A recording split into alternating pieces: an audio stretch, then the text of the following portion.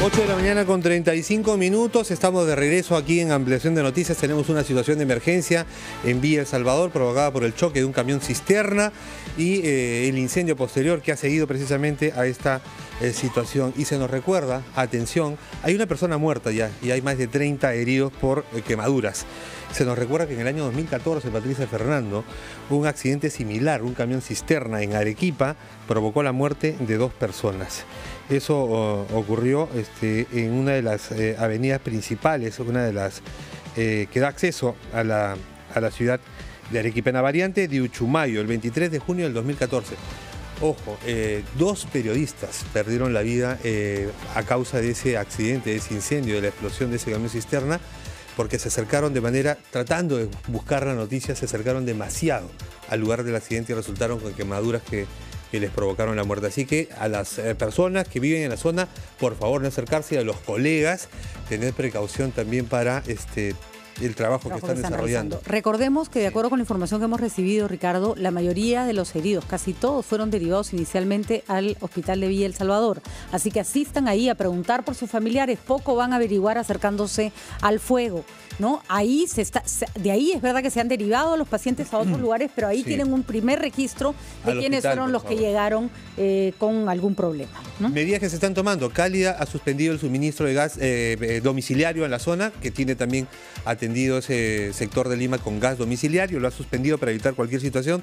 CEDAPAL comunica que está poniéndose a disposición del cuerpo de bomberos, se está incrementando la presión, se están habilitando hidrantes de agua, los más cercanos a la zona de emergencia, se envía un camión cisterna, también la Defensoría del Pueblo que verifica que eh, las personas afectadas sean atendidas oportunamente y pone a disposición de la ciudadanía para esta situación el 0800 151 70. Lo que tenemos ahora de inmediato es contacto nuevamente con el lugar eh, de la noticia. Joana Castro, buenos días, adelante.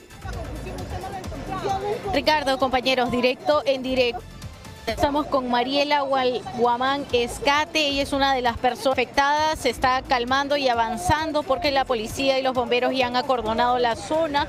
Uno de sus familiares, su nieto está herido.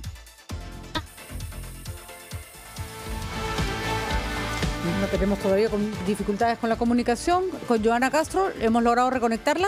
En un momento vamos a seguir hablando con ella. se estableció ya lo que era necesario, el, un acordonamiento de la zona, que no era posible para permitir precisamente el trabajo de los bomberos, porque son diferentes puntos que tiene que atender en un mismo lugar en este cruce de la avenida Pastor Sevilla con eh, Villa del Mar. Sí, pero ahora sí creo que la policía se tiene que poner fuerte, ¿no? No se trata simplemente de decirles arrímense, sino la ya... Gente está desesperada tratando de... Entendemos la desesperación, pero, la policía desgraciadamente tiene que hacer su trabajo, ¿no? 30 heridos, siempre se escuchaba alguien que nos hablaba de ocho miembros de su familia que han debido ser transportados a, un hospital y una persona fallecida. Las tres casas que se incendiaron... Eh, casi al momento de la explosión del, incendio del camión, en realidad con Ricardo estábamos impresionadísimos cuando vimos las primeras imágenes porque parecían literalmente antorchas, literalmente, porque claro, si hay gas por toda la casa, se prende toda la casa, ¿no? Casi al mismo tiempo.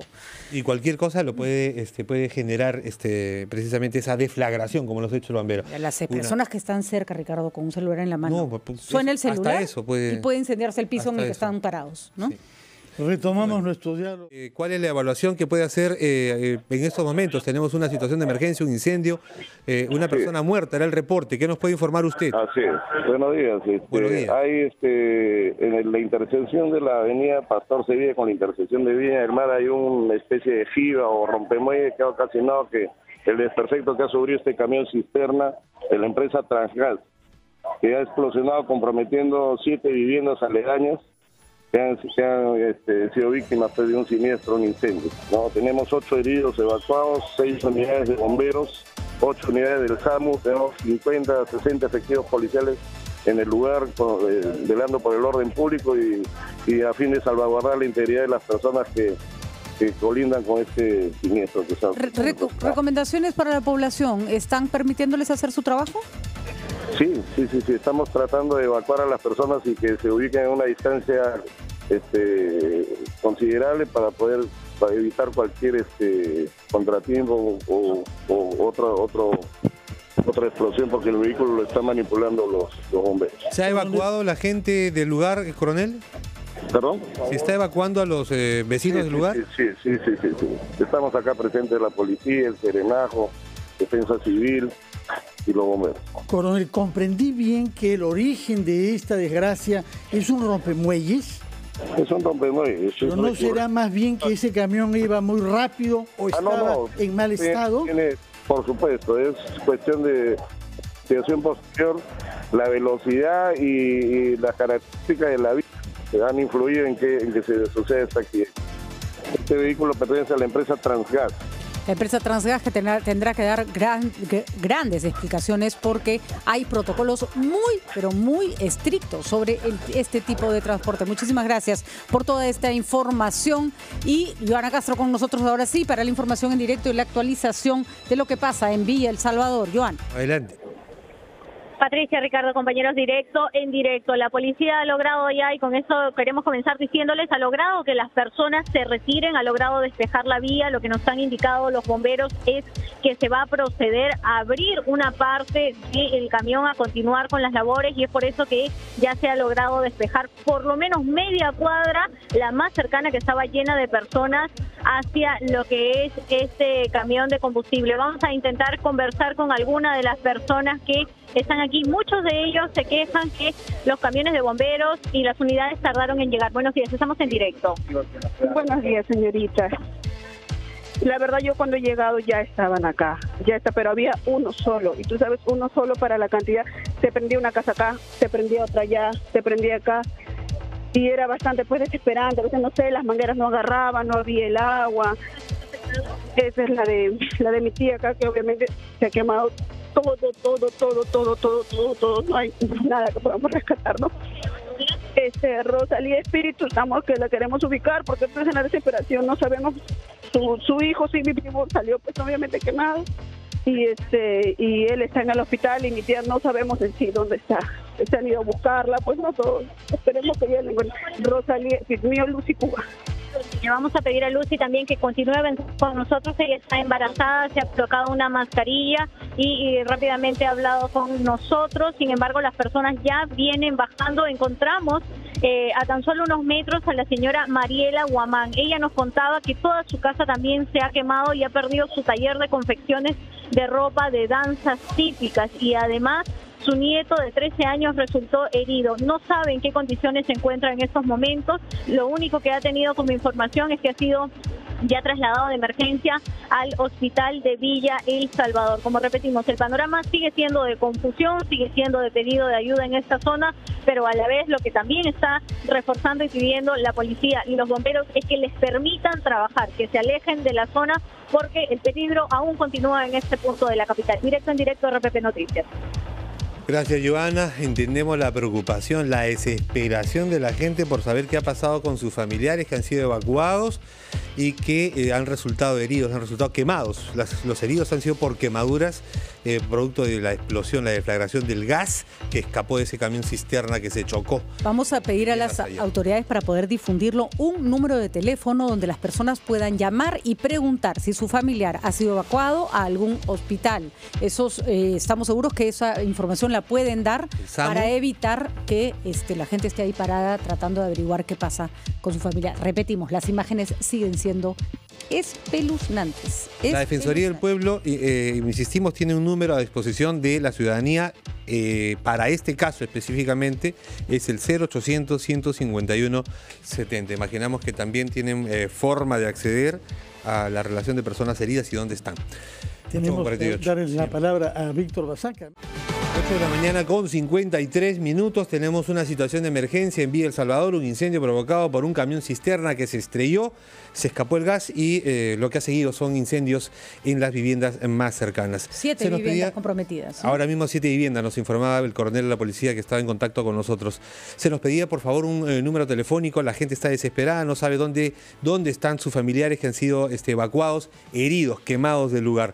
El Ministerio de Salud, atención, nos informa que es el 113, atención, el 113 es eh, la línea gratuita del Ministerio de Salud a la que ustedes pueden recurrir para eh, solicitar información sobre el estado de salud o dónde están sus familiares eh, heridos en esta emergencia. Y por favor llamen los que tienen algo importante que preguntar. No, ya no es, no es momento para estar haciendo llamadas intrascendentes. Vamos rápidamente a, darle paso a nuestro rotafono. Tenemos una denuncia importante. Aló, muy buenos días. Muy buenos días, señorita. Discúlpenme, por favor, quisiera que, no, que vayan con sus cámaras porque nosotros nos apoyamos nada más a los periodistas. La gente que los lo están atendiendo en las emergencias están en la calle, expuestos a la tierra, al peligro, que por favor nos llevan a otros hospitales mejores a nuestros familiares. De acuerdo, señora. Le, vamos a pedir un, poquito más de tranquilidad para entender bien lo que está pasando. Entiendo su preocupación, pero ayúdenos a comprender lo que nos está diciendo. Eh, ¿En qué ¿Qué es, ¿Qué es lo que nos está denunciando? ¿Que los heridos están no están siendo atendidos adecuadamente? No, exactamente, porque están en la calle, en el patio están, en el patio con unas, en el patio de emergencia. Usted sabe, Vía Salvador hay arena, los carros pasan y todo ese polvo se le va a caer. Lo que queremos es que nuestros, los enfermos nos lleven a otros hospitales mejores, porque están en la emergencia en la calle. ¿En emergencia, del hospital de Vía El Salvador? Sí, en emergencia de Vía Salvador, el nuevo hospital, están afuera en el patio, lo están atendiendo. Lo, único que queremos son bastantes personas que, que, que los lleven a otros hospitales para que tengan sala u otra cosa. No se preocupe, señora. ¿Nos eh, da su nombre, por favor? Me llamo Anet Espíritu Portocarrero. Anet, ¿y tiene usted algún familiar entre las personas que no están siendo atendidos? mi, sobrino que está con quemadura de tercer grado y mi hermana que acabo de encontrarlo porque me he ido a varios hospitales y parece que lo, han traído ahí después. Ahorita estoy en María Auxiliadora, pero hay también quemados acá. O sea, y en el Almenara también hay quemados. De acuerdo, señor, entendemos la desesperación. Vamos a nosotros trasladar inmediatamente su pedido, aunque ya nos han avisado que están trasladando a los, eh, a, los heridos a otros hospitales para que descongestionar el hospital de Vía El Salvador. Acá hacemos un llamado a las eh, empresas de salud privadas. Por favor, si el Estado no se da abasto, es hora de poner el hombro, vayan a mandar algunas ambulancias y ayuden, que esta es una emergencia realmente grave. Le, ayuda, le agradecemos, señora, por confiar en nosotros y no se preocupe, hacemos valer su voz, entendemos la desesperación y efectivamente ver a un, a un familiar, señores, eh, en el suelo o mal atendido en el medio del patio, eh, sabiendo que tiene dolor, porque además la quemadura duele muchísimo. Es la preocupación es, entendible y si nos alcanza vía WhatsApp del rotafono de RPP, el 951-431-013 y tenemos las imágenes aquí en nuestros teléfonos celulares, Patricia. Sí, pues las, las camas para, las camillas para atender a estos heridos están en el patio y lo que temen ellos es que el ambiente abierto este, le pueda traer luego una complicación. Pero, pero también vemos, y esto hay que rescatarlo, Ricardo, a una cantidad de personal médico ha este, puesto al servicio. Es una emergencia, están poniendo todos sus recursos y están haciendo todo lo que pueden, pero claro, es un montón de gente a la que tienen que atender. En principio eran 31, pero imaginamos que el número este, ha crecido. ¿no? La solidaridad es importante en estos momentos. Si el Estado no se da abasto, estamos seguros que hay, hay, eh, clínicas. El Mario ahora y hay un nuevo hospital de emergencia. Así es. Eh, pero sí, nuestro reconocimiento al personal de salud, que está tratando de hacer todo lo posible por atender a las personas. La foto es impresionante. No solo porque están las, este, las camillas, ¿no? las camillas en, el, patio, sino porque hay una cantidad de personal esperando que lleguen las personas heridas para atenderlas inmediatamente. El 113, atención, el Ministerio de Salud les informa, eh, le informa a la ciudadanía y en particular a estas eh, personas que están comprometidas con esta, esta situación de emergencia. Es el 113 el número al que pueden recurrir para eh, tener información sobre el paradero de sus familiares. Y atención, ya están siendo derivados a otros hospitales los heridos. hay cuatro en el hospital Uldarico Roca, pero también está enviándose ya a algunos heridos al hospital Almenara, Almenara del Seguro Social. Todavía no llegan, pero ya están en camino. Así es. Ya con el doctor Carlos León, que es el director del Hospital de Emergencias de Villa El Salvador. Eh, doctor León, buenos días, bienvenido. Buenos días, Ricardo. Doctor, por favor, cuéntenos eh, eh, cuál es la situación ahora mismo en, el hospital, cuántos heridos han recibido, cuál es este, su estado de gravedad, no, no tanta, más bien cuéntenos. Eh, sí, bien, bueno, temprano el día de hoy hubo un accidente lamentablemente en el distrito. Hemos recibido alrededor de 32 pacientes y el, lamentablemente la gran mayoría de ellos son son grandes eh, grandes quemados. Eh, el hospital inmediatamente ha activado su plan de, de contingencia. Hemos habilitado las carpas para hacer las atenciones respectivas. Eh, tenemos ya pacientes que están siendo referidos a otros hospitales y lamentablemente es un, es un, es un hecho masivo y, la situación con, con los con, los pacientes en muchos de ellos es, bastante seria ¿no? hemos visto las fotos de cómo están trabajando eh, señor León. En primer lugar nuestro reconocimiento a su personal que está absolutamente dedicado a manejar esta emergencia pero también entendemos que la situación es eh, los desborda. Uno de los grandes problemas de las quemaduras son las infecciones. En este momento están nos llamó una señora una familia diciendo que los pacientes no están en un lugar adecuado eh, y tratándose de, pacientes con quemaduras graves, ¿qué se puede hacer al respecto? ¿Qué tipo de apoyo se necesita en estos momentos para que ustedes puedan eh, realizar su labor con toda la eficiencia del caso? Eh, sí, mire, el, manejo de la quemadura lo primero que, amerita es el manejo con agua abundante, ¿no? Eso fue lo primero que se ha realizado. Después de eso, lo que procede es la cobertura del área con, con antibiótico tópico y con su vendaje, ¿no? Este y, en, y la hidratación correspondiente, ¿no? En ese en este momento todos los pacientes se encuentran en ese protocolo. De acuerdo. Eh, inclusive algunos de ellos eh, han, tenido que entrar a la sala de operaciones para poder este, hacer la limpieza quirúrgica para eh, de manera inmediata, ¿no? Obviamente lo ideal para cualquier paciente eh, quemado es el, manejo en una unidad de quemados. Por supuesto. Pero ahorita, en el momento de la, de la emergencia, lo que se está haciendo es eh, estabilizar a los pacientes, poder este, identificar quiénes son los más graves, cuáles van a poder este, ser referidos, en qué, a qué hospitales, porque vamos a necesitar el apoyo no solamente, creo yo, de los hospitales del ministerio, sino de todo el sistema, ¿no? Porque hay una gran cantidad de, de, pacientes afectados. y Están en la etapa este, que se conoce como triaje, ¿no es cierto? Que separar a, los más graves de los que pueden tener otro, otro tipo de atención. Así es, ¿no? Y, le queríamos preguntar, este, eh, a pesar de que todavía no están en las condiciones óptimas, ¿usted le puede asegurar a, las, a los familiares que están angustiados que, a pesar de que están en carpas, la atención que están recibiendo es la adecuada? Sí, la, atención que estamos dando en el momento corresponde al protocolo de un paciente quemado. eh, obviamente los pacientes más graves van a necesitar obviamente un manejo multidisciplinario, pero la primera atención que se está dando ahorita en, los ambientes eh, está, está siendo dada por prácticamente por todo el personal del hospital, enfermeros, especialistas, personal de farmacia, eh, todo el, hospital se ha movilizado para poder atender la emergencia. Eh, obviamente es una situación que no planificada, desborda muchas veces las capacidades, por eso es que se ha activado todo el sistema de salud para poder este, dar la, atención, ¿no? Bueno, nuestro apoyo solidario, eh, doctora, a todo su equipo de trabajo. Yo quisiera también aclarar, perdón, aprovecho la comunicación, este, porque eh, en algún momento se ha filtrado la información de que estábamos pidiendo DNI para las atenciones y en verdad yo quisiera aclarar lo siguiente. Este, para nosotros es importante identificar a las personas, uno, dos, poder saber si es tienen algún otro sistema o, cobertura de salud también para que poder coordinar las referencias, ¿no? Entonces, no se ha dejado de atender a nadie, la importancia del, del, o la magnitud del evento ha meritado que todo el, todo el sistema se movilice y, y sí es importante para nosotros poder identificar a, los familiares, perdón, a las personas, a las pacientes. Entendemos que están pidiendo el DNI no como requisito de atención, pero sí como un elemento de referencia para poder ustedes actuar. identificar y poder tener un, una, eh, un plan de, si es necesario, de referencia con alguna otra entidad y saber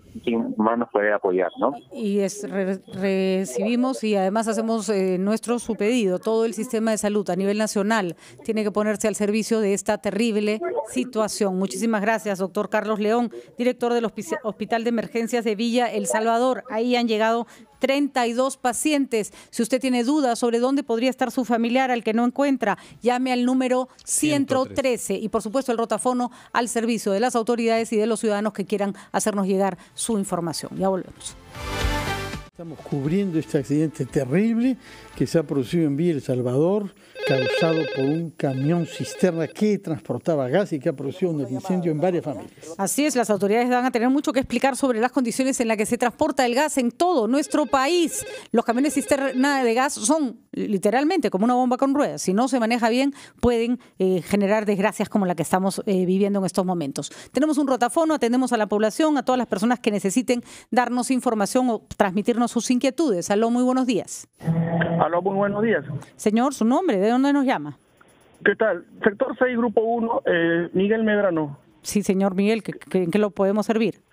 ¿Qué tal? Lo que quería reportar es que en el lugar del epicentro, en el lugar del epicentro, este, hay muchos este, ancianos y niños ¿De acuerdo? que han salido de las de los manzanas aledañas y se están los han sacado de la casa para ponerlo en una zona segura, en, un, en un centro deportivo, es una canchita, es una losa pero hay muchos ancianos y niños que están desde muy tempranas horas de la mañana y por no poder prender las cocinas o no poder tener no tener fluido eléctrico están sin desayuno también. Entonces por favor, eh, a ello también se suma que al abandonar los hogares, por seguridad, eh, hay mucha delincuencia, entonces queremos más refuerzo y apoyo de eh, Serenajo, la Policía Nacional eh, y también de este apoyo alimenticio para los ancianos y niños o bebés que están en las zonas este, cerca del epicentro. De acuerdo, señor Medrano, totalmente de acuerdo con usted. Los ancianos incluso se pueden descompensar si pasan mucho rato sin hidratarse o sin comer. Nos repite. la hora del desayuno. Pues, así es. ¿Nos repite la, la zona específica donde han sido evacuados? adecuados?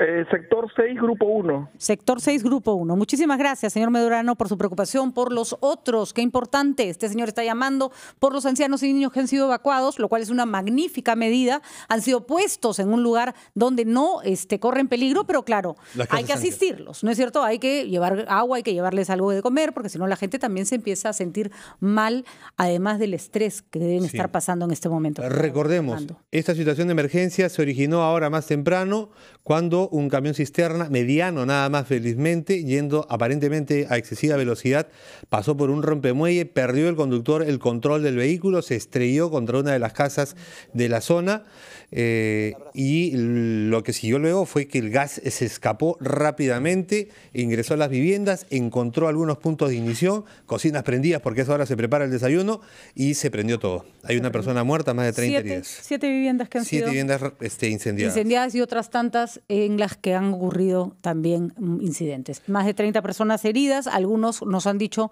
de suma gravedad. Eh, por supuesto, la noticia está en desarrollo. RPP en el lugar. y nos, Carlos León, el director del Hospital de Emergencia. Y hemos visto las fotos, ¿no? Hemos visto las fotos de personas que están realmente afectadas. Una invocación a todo el sistema de salud del Perú porque se necesita eh, atención especializada. El, en este caso, el Estado no se va a dar abasto para atender a todos. Están haciendo sus máximos esfuerzos, pero es una situación sui generis. Son las 9 y 11 minutos de la mañana.